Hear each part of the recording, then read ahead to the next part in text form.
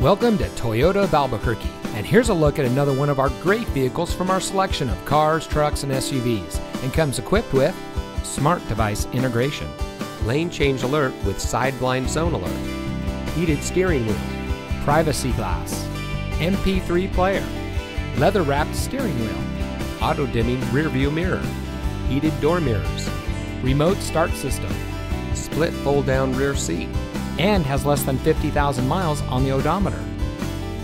Toyota of Albuquerque is a proud member of the Larry H. Miller family of dealerships. With over 50 locations in the West, all of our stores are dedicated to meeting each individual client's needs promptly and with the highest level of professionalism.